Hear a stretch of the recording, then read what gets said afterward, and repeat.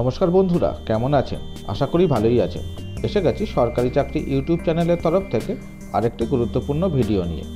বন্ধুরা, গত তেসরা ফেব্রুয়ারি আমাদের চ্যানেলে প্রথম বলেছিলাম, পশ্চিমবঙ্গে রাজ্য পুলিশে আট হাজার চারশো উনিশ জন কনস্টেবল নিয়োগের খবর। পাঁচই ফেব্রুয়ারি থেকে অনলাইন এবং অফলাইনের মাধ্যমে আবেদন গ্রহণ শুরু হয়ে গেছে।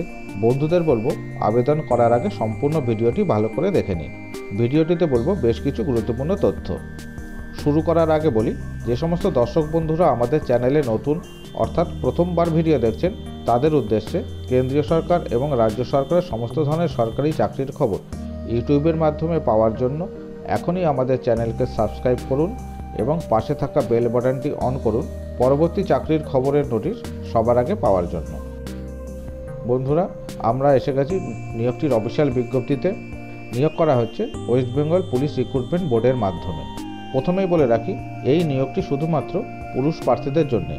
আবেদন করা যাবে অনলাইন এবং অফলাইন দুভাবেই পাঁচই ফেব্রুয়ারি দু হাজার উনিশ থেকে পাঁচই মার্চের মধ্যে।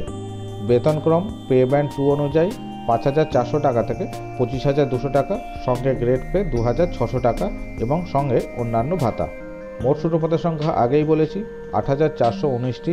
তার মধ্যে সাধারণ প্রার্থীদের জন্য দু হাজার নশো বিরাশিটি সাধারণ ইসি প্রার্থীদের জন্য শূন্যপদের সংখ্যা এক হাজার ছশো আটত্রিশটি, সিডিল কাস্ট এক হাজার একশো উনপঞ্চাশ এসসি ইসি সাতশো সাত, সিডিল ট্রাইব তিনশো পঁয়তাল্লিশ, সিডিল ট্রাইব ইসি একশো তিরানব্বই ওবিসি এ ছশো বাইশটি ওবিসি এ ইসি তিনশো এগারো ওবিসি বি দুশো একষট্টি এবং ওবিসি বি ইসি দুশো এগারোটি।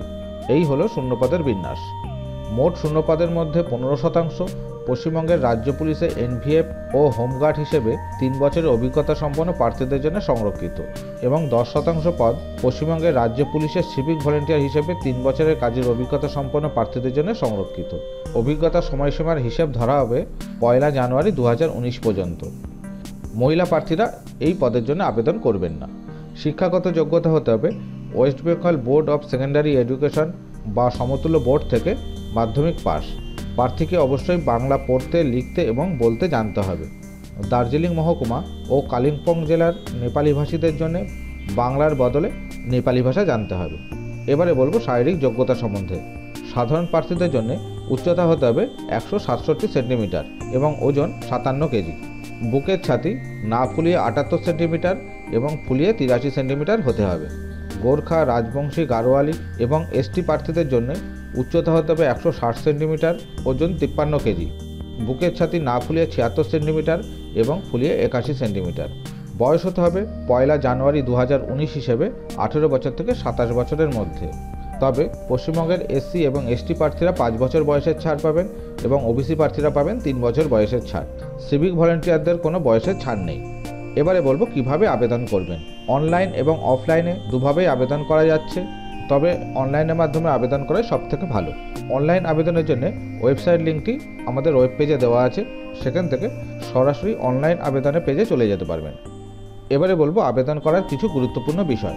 আবেদন করার সময় প্রার্থীদের যে ছবিটি আপলোড করতে হবে, সেই ছবিটির মধ্যে সেভেন্টি ফাইভ পার্সেন্ট থেকে এইটি পার্সেন্ট থাকবে মুখমণ্ডল। ফটোর সাইজ হতে হবে চার দশমিক পাঁচ সেন্টিমিটার বাই তিন দশমিক পাঁচ সেন্টিমিটার এবং ছবির ব্যাকগ্রাউন্ড হবে সাদা। সম্পূর্ণ সাদা ব্যাকগ্রাউন্ডের ছবি আপলোড করতে হবে। তা না হলে হয়তো আবেদনপত্রটি বাতিল হয়ে যেতে পারে। ছবি সাইজ হতে হবে দশ থেকে পঞ্চাশ কিলোবাইটের মধ্যে এবং যে সইটি আপলোড করতে হবে, তার সাইজ হতে হবে পাঁচ থেকে কুড়ি কেবির মধ্যে। সিগনেচারটি অবশ্যই পরিষ্কার হ্যান্ডরাইটিংয়ের এবং সাদা ব্যাকগ্রাউন্ডের হতে হবে। যে সমস্ত বন্ধুরা অফলাইনের মাধ্যমে আবেদন করবেন তাদের উদ্দেশ্যে বলি, আমাদের ওয়েব পেজে অফলাইন আবেদন ডাউনলোডের লিঙ্কটি দেওয়া আছে।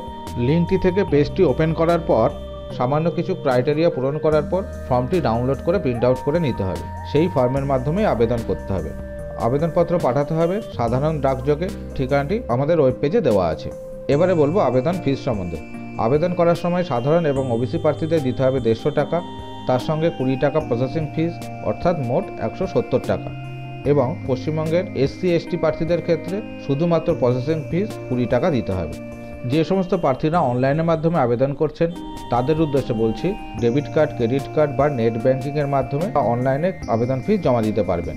আর অফলাইনের মাধ্যমে যে সমস্ত প্রার্থীরা আবেদন করবেন, তাদের ব্যাংক চালানের মাধ্যমে বা পোস্ট অফিসের মাধ্যমে দশ টাকা সার্ভিস চার্জ দিয়ে আবেদন ফি জমা দিতে পারবেন। বন্ধুরা, ভিডিওর নিচে ডেসক্রিপশন বক্সে একটি লিঙ্ক দেওয়া আছে। লিঙ্কটিতে ক্লিক করলে একটি ওয়েব পেজ ওপেন হবে। সেখানে নিয়োগটি সম্বন্ধে বিস্তারিত বিবরণ, সংশ্লিষ্ট দপ্তরের অফিসিয়াল ওয়েবসাইট অফিসিয়াল নোটিশ এবং অনলাইন আবেদনের লিঙ্ক বা অফলাইন আবেদনের ফর্ম ডাউনলোডের লিঙ্ক দেওয়া আছে। দর্শকদের কাছে আমাদের অনুরোধ অফিসিয়াল নোটিশটি ভালোভাবে পড়ে তবেই আবেদন করুন। বন্ধুরা, ভিডিওটি সম্বন্ধে কোনো রকম মন্তব্য থাকলে ভিডিওর নিচে কমেন্ট বক্সে লিখুন। ভিডিওটি যদি গুরুত্বপূর্ণ মনে হয়, অবশ্যই একটি লাইক করে বন্ধুদের উদ্দেশ্যে শেয়ার করবেন। আজ এ পর্যন্তই। সম্পূর্ণ ভিডিওটি দেখার জন্য ধন্যবাদ। সুস্থ থাকবেন, ভালো থাকবেন।